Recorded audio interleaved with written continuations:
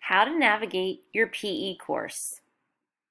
First, you need to log on to your MyPasco Connect account and select your physical education content box located on your dashboard. You will be sent to your grade levels PE homepage. On this homepage, you will see important information such as a link to email the coach, the link to access the coach's Zoom for your scheduled online PE day, and your Healthy Me checklist. You will need to download and print this because your PE teachers will be using this checklist as part of your grade. This link is a PDF version of how to walk through each of the modules. Then, as you scroll down, you will see the week's work with the most current week listed first and previous weeks listed below.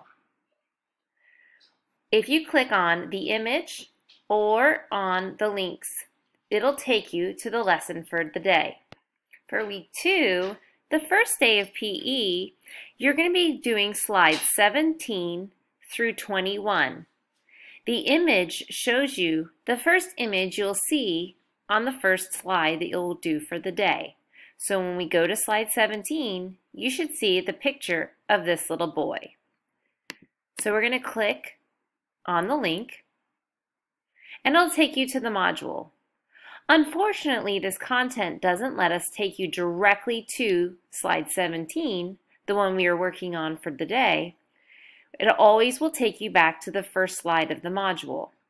But if you click up here, it lists all the slides for the module, and we're going to click on 17. And there's the image of the little boy. So I know I'm in the right place. So you're going to work through these activities. It is a lot of reading. Your student will need a grown-up to help them read through these activities. Or you can use the speech tool and highlight the text that you want read and push the play button. Stop and go safety. Vroom. Honk. Screech. Honk.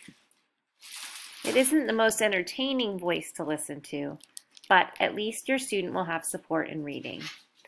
The activities are super fun for the kiddos to play. So they'll work through the activities.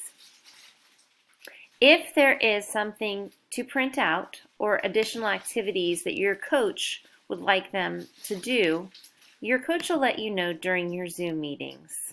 Your coach will also let you know how to submit the activities.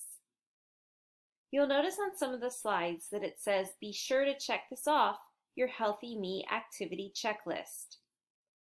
If I go back home here, that was the document we talked about at the beginning, the Healthy Me checklist, which your student will be graded partially on by the PE coaches.